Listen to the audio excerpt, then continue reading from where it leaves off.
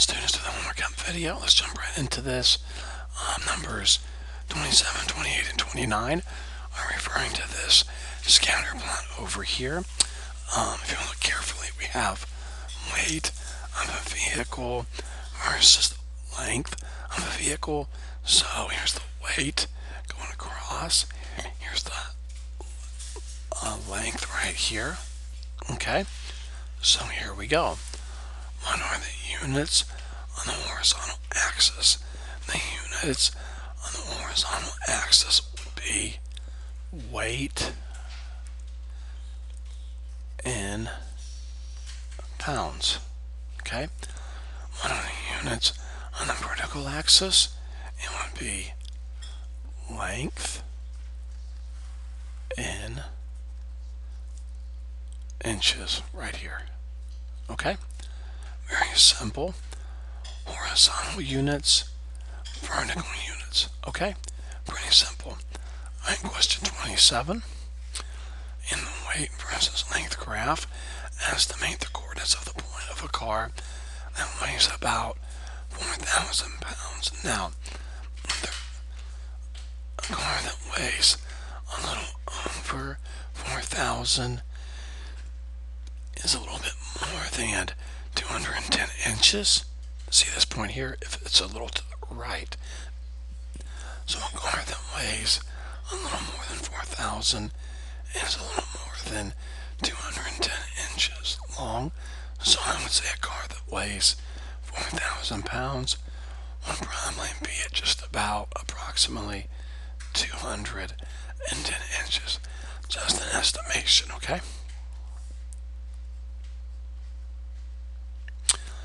Which of the following is true?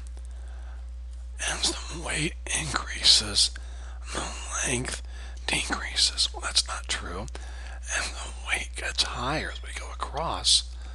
The length is getting larger, see? For this, we're here.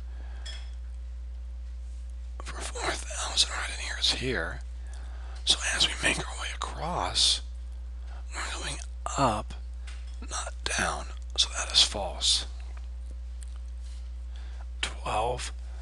The length is constant as the weight increases. Now what that means is, is as the weight increases, the length stays the same. And that's false. As the weight increases, the length is actually getting higher. So that's false. This is false. This is false here. The length is not related to the weight at all. That's false. It is related. Here it is. The length tends to increase as the weight increases. And that is true. Okay? As you, as the weight increases, the length is also increasing. It is going up. Alright? Okay. 30 and 31, we're going to use the scatter plot here. It's the weight versus the gas mileage. Alright? Um, what is the value of W in this ordered pair? Now, stop and think, okay? This is your x-axis. It's the weights. We're going to call it the w-axis.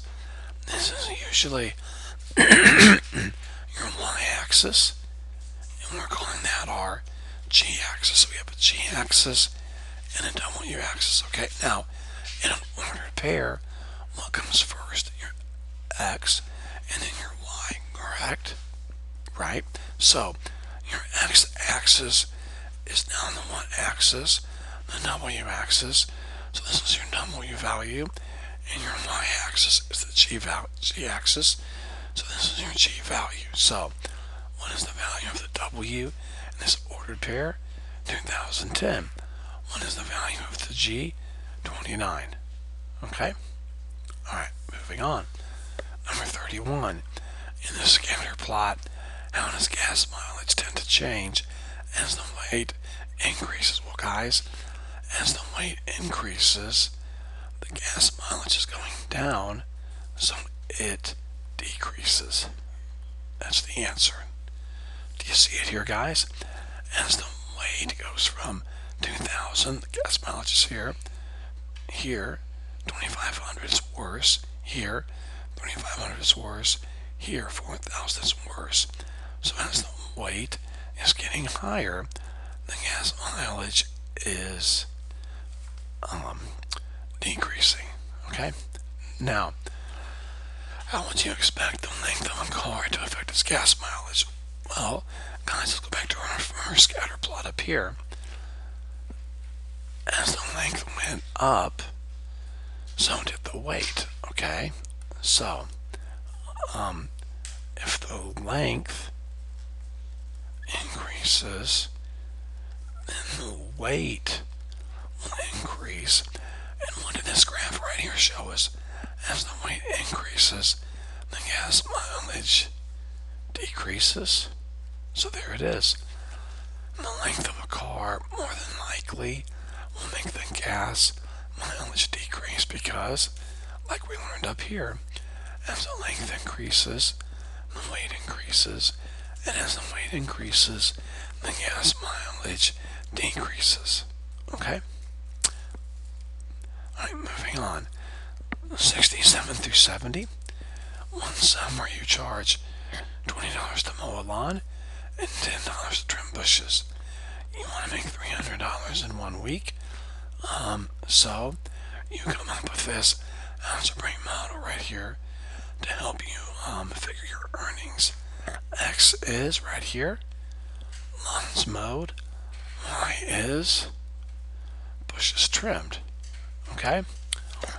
First all, we want is to solve the equation for, y.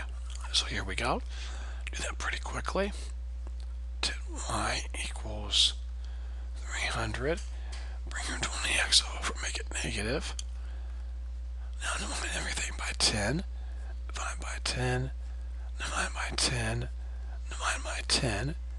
And we're left with y equals 30 minus 2x. Okay?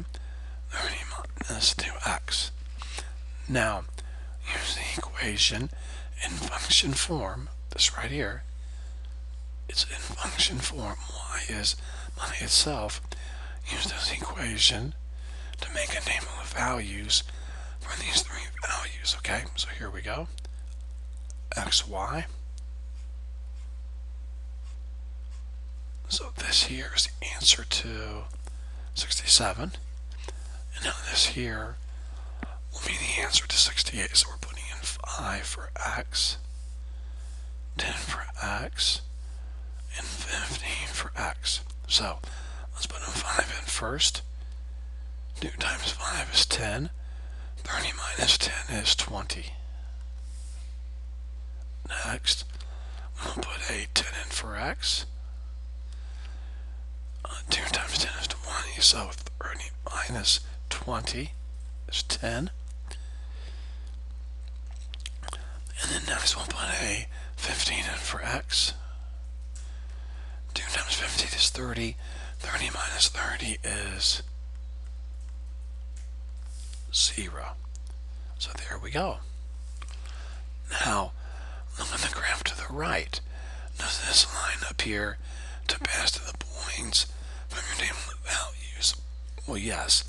520 is right here on the line. 1010 is right here on the line. And 150 is right here on the line. So the answer is yes. 17. If you do not trim any bushes during the week, how many lawns we have to mow? Well, come on, guys. Think about this, okay? Bushes is what? Right here, look. Your Y. Bushes trimmed, Y.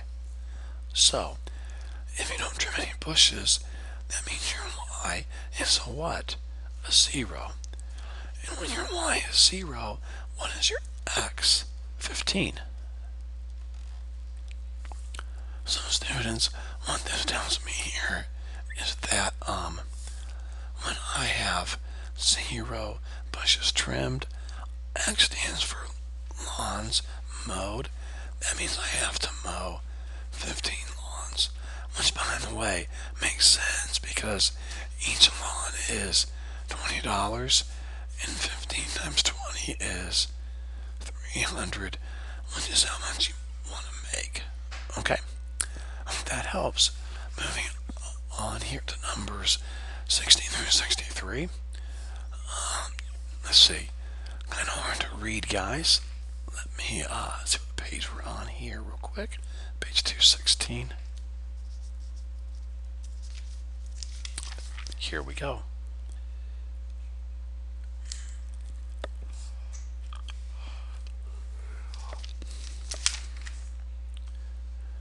Page 222. Okay, here we go. Your school drama club is putting on a play next month. Um, they are selling tickets for the play, and the club hopes to raise $600 from the drama fund. All right, for new costumes and stuff like that. Let X represent the number of adult tickets at $8 each, and let Y represent the number of student tickets at $5 each, okay? So, they've given you a nice model here of the situation, okay? 8x plus 5y equals 600. Now, they want us to graph this, so what I'm going to do quickly is put a 0 in for x. And get a y-intercept, which would be 8 times 0 is 0. y would equal 120. And then I'm going to put 0 in for y. 5 times 0 is 0. 8x equals 600. And 8 goes into 600. 75 times, okay? So, here's my y-intercept. Here's my x-intercept.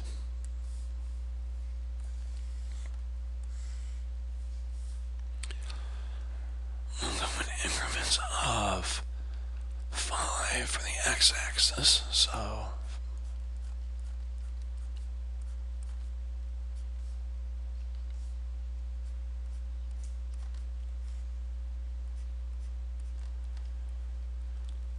And then for the um, y-axis, we'll go in increments of 10.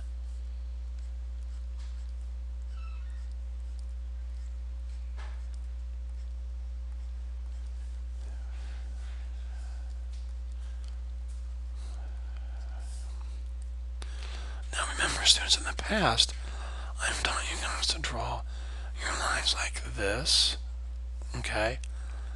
But you don't want to do that because you can't have negative, um, let's see here. X is the number of um, adults that came, and Y is the number of students that came. You can't have negative adults or negative children. So the graph starts here, goes right here and stops. Okay, so there's the graph. Now, what is the x-intercept? Well, here's the x-intercept. What does it represent? Okay, it means it's really simple, guys. X is your number of adults, guys. Look. How do I know that? Because look, eight dollars is the charge for adults, and X is being multiplied by eight. So X has to be your adult tickets. Y is your student tickets. Okay. So if I have a point here, that's 75 zero.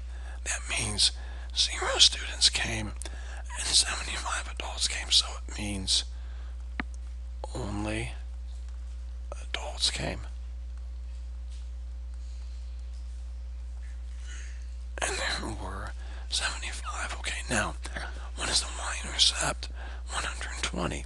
What does it represent? Okay, think about it, guys. Here, this order pair is 0, 120. So we have 0 adults, 120 students.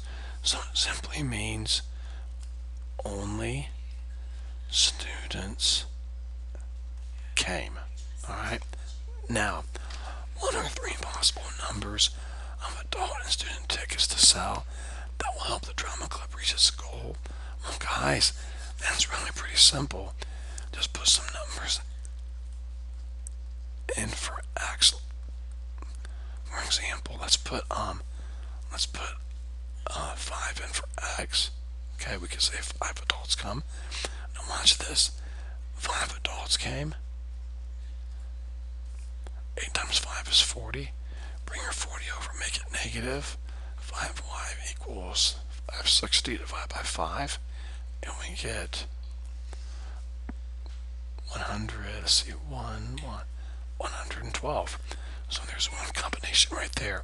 Five adults, 112 students, okay? Let's increase that quite a bit. Let's say we have, let's say uh, 20 adults come, all right? 20 times 8 is 160. Bring your 160 over, make it negative. That leaves you with 440.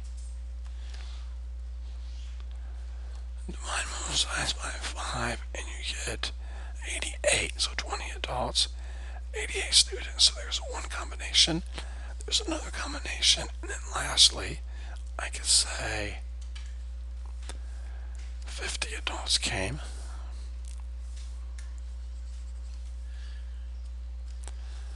Eight times 50 is 400. Bring your 400 over, make it negative. Then we're left with 5y equals 200. Divide both sides by 5 and we get 40. So another combination would be 50 adults and 40 students. Okay, so any of those would work. And so there's three possible numbers of adults and students that could come in which the drama club wants to reach its goal of $600. So any of those. All right. Okay, let's move on.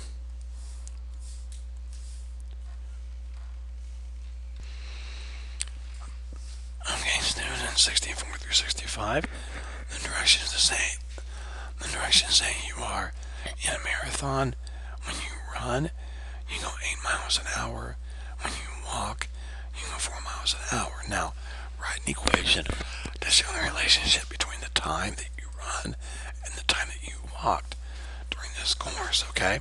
So, really not that difficult. Think about this for a second. If you walked, let's see, if you ran, use, we'll use R for run and W for walk, okay? Now, the time that you ran gets multiplied by 8 because remember, you're going 8 miles per hour. So if you multiply 8 times the hours um, that you ran, you'll get your distance. Plus, think about this, you're going 4 miles every hour. 4 miles per hour. So, 4 times the time that you walked will also give your distance.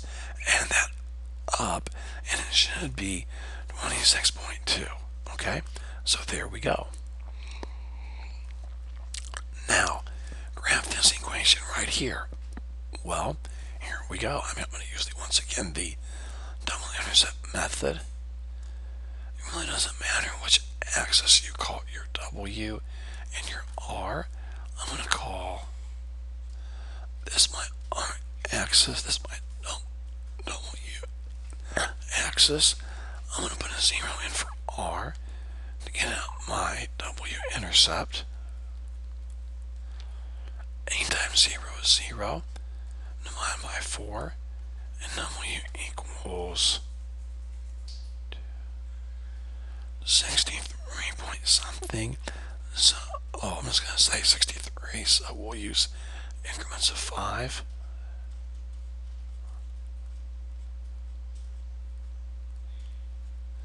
So 63 is about right there. Okay. Now let's find the R-intercept. We'll put a 0 in for W. 4 times 0 is 0, so 8R equals 26.2. Divide both sides by 8, and R equals 3, 24, 22, about 3.7. Um, right there. Okay, so there we go. So, sketch your graph. And there's a pretty good graph, okay? Now, I'm just going to find one possible running and walking time. It's just like the last problem students where you can pick a value to put in for R or W and then solve for the other variable. I'm going to say ran for, let's say you ran for a couple hours total, so two.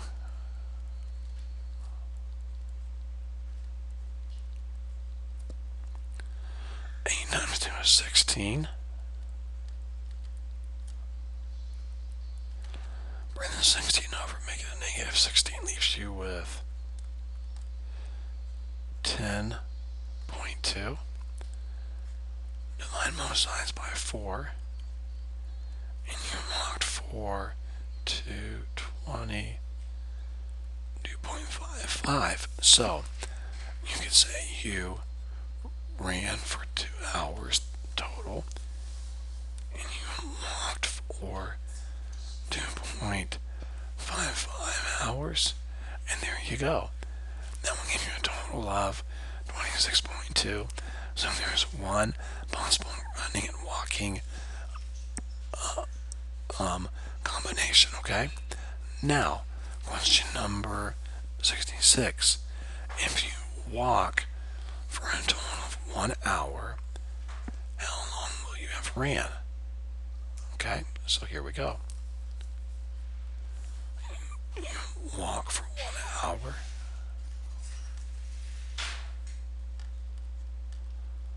Four times one is four. Bring the four over, make it a negative four, and you're left with 22.2. Divide both sides by 8 and R, R equals, let's see, 2, 16, 22, approximately 2.2, approximately. Alright? No, that's not right. Sorry about that. It would be, uh, it would be, uh, let's see, A goes into this, uh, 2 times, 60, 62, be 7, eight, uh, approximately 2.7 hours you would run. So if you walked for one hour total, then you would run for 2.7 hours. Okay? So this this equation here is really helpful. You can put in numbers for walking, get out your running, or vice versa. Okay? Alright. 67 and 68. Um, Sam Theater charges four dollars per person before six, seven per person after after six. The total ticket sales was eleven thousand two twenty-eight. Make a graph showing the possible amount of people that came. All right. So here we go.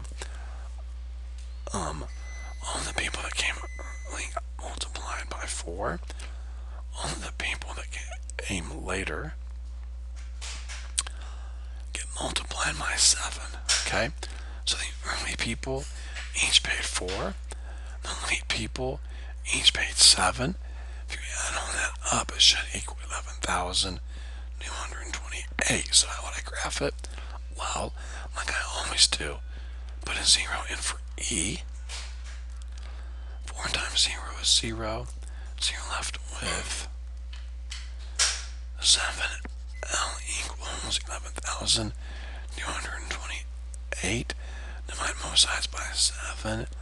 We get 142, 6, 0, 4. So, um, this is my L axis right there. Or my L enters, intercept, and then I'm going to put zero in for L, so for E plus seven zero equals 11,228. 7 times 0 is 0, leaves me with 4e equals 11,200. 28. Divide both sides by 4. And E equals 4 goes under 11 twice. It's 32. That's 8, 0, 7. So there's my E intercept, okay? Now let's sketch our graph. Okay? Really doesn't matter which axis you're going, either the L under this We'll go in increments of 200, I guess.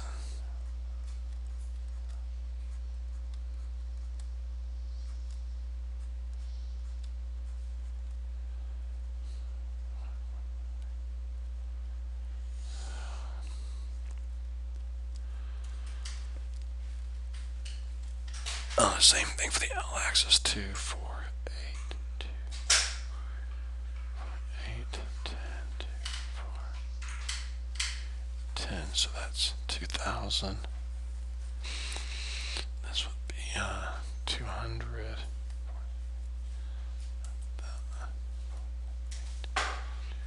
6, that's not right. 8, 10, there's 2,000. There's a thousand right there. Okay, so my out intercept 1604, 1,246. So right there. Intercept 2800. So right. There's 3,028, but right there. Oh, there's the graph right there.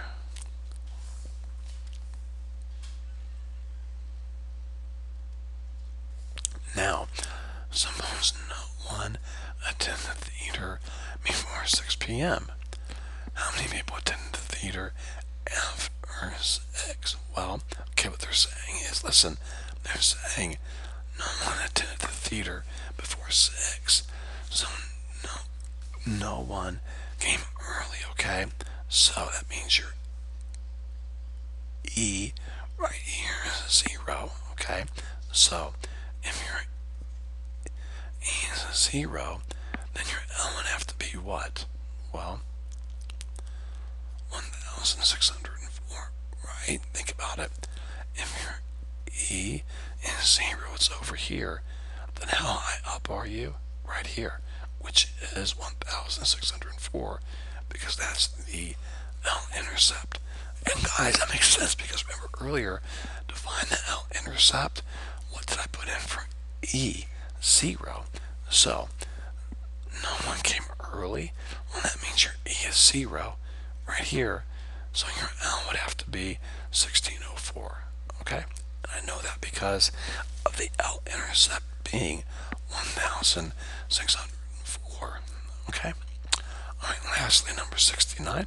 Okay, the number of people who work for the railroads from 89 to 95 are modeled by this equation right here. Okay? Where X represents the number of years since 1989 and Y represents the number of railroad employees in thousands. So X is the number of years since 1989. So 1989 is my zero. 1990 would be one. 1991 would be two. And so on and so forth. Some students, what this equation does for me is I can put in a number for x, which represents a year, and I will get out how many employees there are in thousands, okay? So here we go. First, find the y-intercept, okay? So if I'm going to find the y-intercept, I put 0 in for what?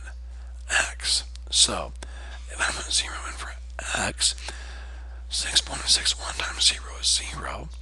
0 plus 220, 0 plus 229 is 229. So the y-intercept is 229. Once you looks, here's the y-axis. That looks just about right, okay? Next, find the x. Oh, what does it represent? Okay, so it represents the fact that when I'm at zero years, 1989, I had 229,000 employees. That's what it represents, okay? When I have zero years in 1989, there were 229,000 employees. Now, they want me to find the x intercept. So where the y is, I'll put a 0. 0 equals negative 6.61 x plus 229. Bring the 229 over, make it negative.